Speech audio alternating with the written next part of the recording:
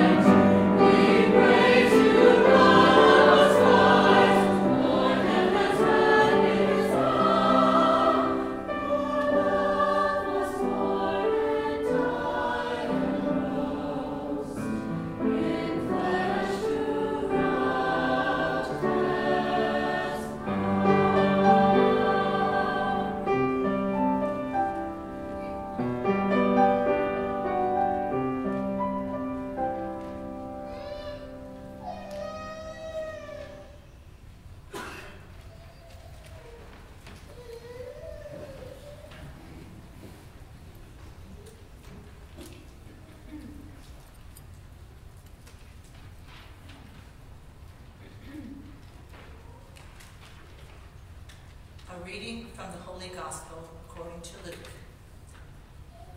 Mary set out and went with haste to a Judean town in the hill country, where she entered the house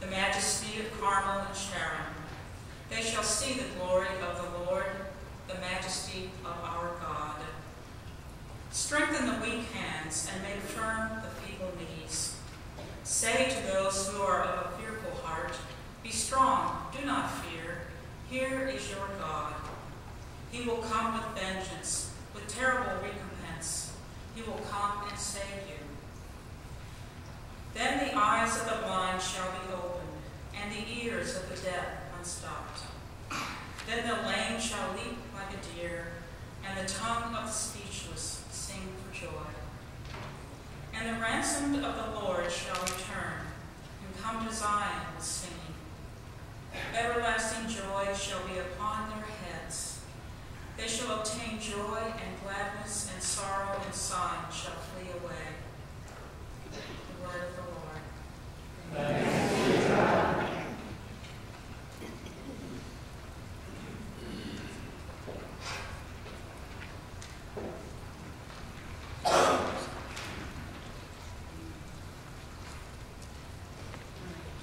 next piece uh, is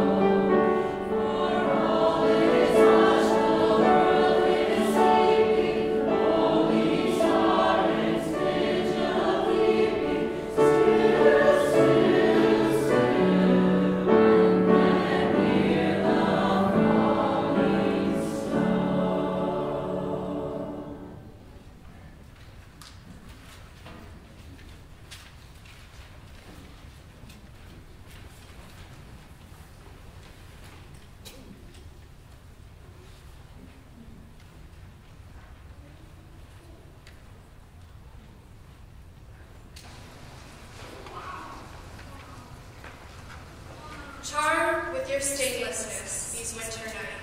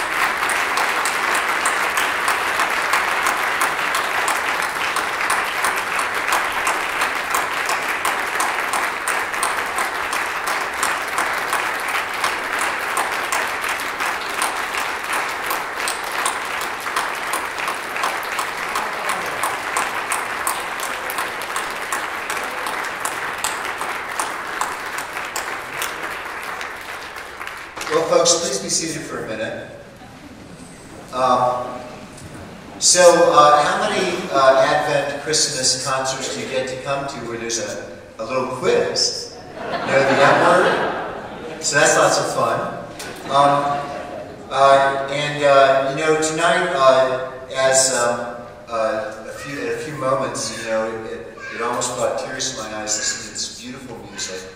And it wasn't only the beautiful voices of our splendid festival choir, but also the beautiful spirits they have when they sing. Just touched my heart so much. So um, let's give it up for this wonderful choir.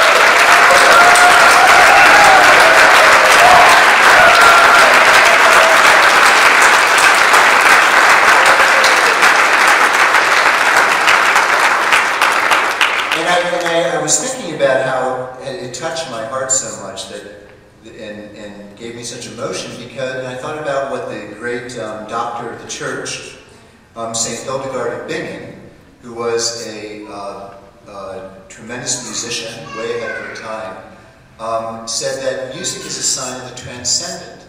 And so if you were moved, as I was tonight, um, it's because this is something heavenly. Um, uh, the devil cannot sing um, St. Hildegard of Bingen said, because it is a sign of the transcendent. And I also uh, want to um, acknowledge that uh, Deacon Chris, our, our uh, awesome director of worship, this is his 20th year in our parish.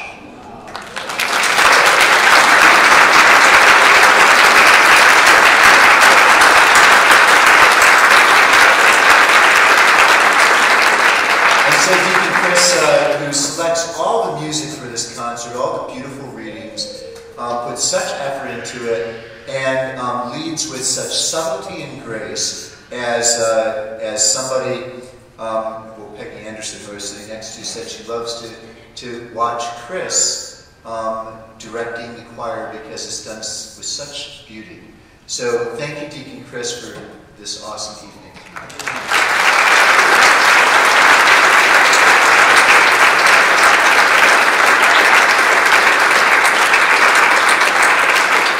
And uh, thank you to our wonderful musicians, besides Deacon Chris on the piano, Rich Stevenson on the guitar, and Anne on the uh, violin, and or viola. Is that a viola? It's a violin. Oh, sorry. Okay.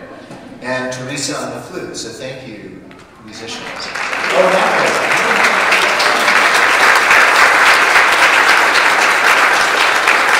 Sorry, I'm the other side of singing. I didn't see you playing the flute. So. Um, and uh, so there's a reception afterwards in the parish hall, thanks to Jenny Kowalski, who managed that. Um,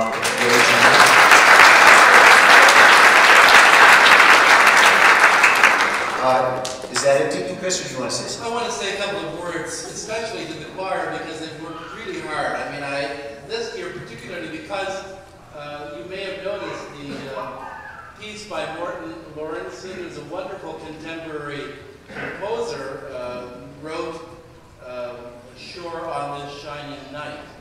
And that's a major work, as you could have guessed. And we started this in September, and they've done so well. I mean, I have a wonderful recording of the bel canto choir in Vilnius, Lithuania, singing this, and there are about 60 voices. And I must say that this group, I would put them on the same level of this profession.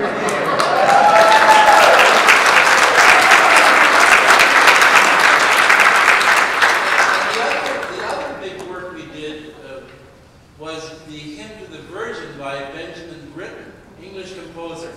And you may have noticed we had a wonderful quintet. Laurie Taylor, Megan Jones, uh, Sheila Hurley, Nick Drauschak, and Craig Schneiders. So we had a lovely quintet, you know, as against the full choir. So that's a very difficult word. I, work, work. I tried that when I came my first year here in 1996, and it sort of worked. but tonight it was outstanding, and I just want to say thank you to them for their faithfulness and their uh, their kind of uh, you know. Um, just coming to rehearsals and, and just singing with joy, as Father Gregory said, that energy of God. So Thank you.